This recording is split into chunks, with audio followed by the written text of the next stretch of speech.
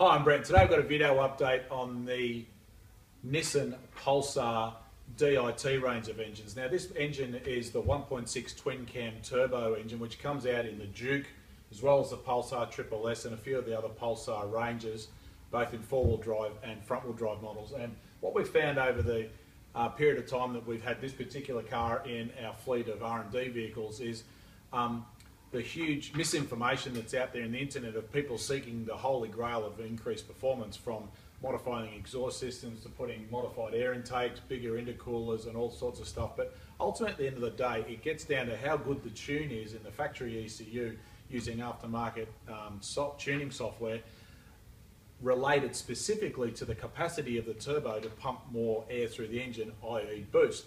Now, these engines come with a very, very small turbo, but an incredibly compact boost control system, very similar to what Nissan uses in the Nissan R35 GTR.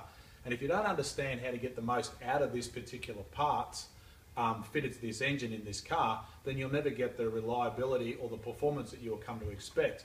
And today I'm going to talk about what you can and can't expect when it comes to the exhaust system. Now, um, you can see in the engine bay here, we'll just refresh ourselves. We've got the factory recirculating blow-off valve which has been replaced, replaced with the GFB adjustable one on this particular car. It's got the original factory front mount intercooler down tucked inside here.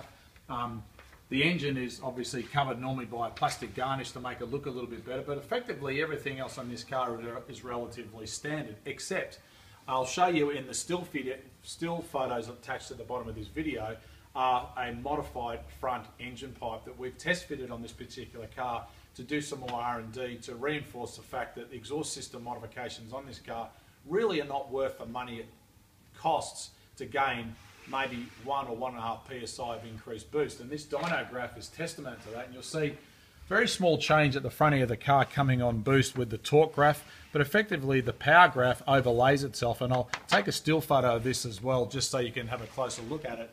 So what we've done on this particular car is deleted one of the catalytic converters, which has had a huge increase in flow by reducing and releasing some of the back pressure associated with um, catalytic, factory catalytic converters. The car still has an original CAT as well, but one of them has been deleted. Um, and then we've gone and done a back-to-back -back custom tune, and that dyno graph is the result. Now, if we had to completely replace the whole exhaust system, ultimately the result is exactly the same. And in fact, this is what we tested several years ago when this car first came out.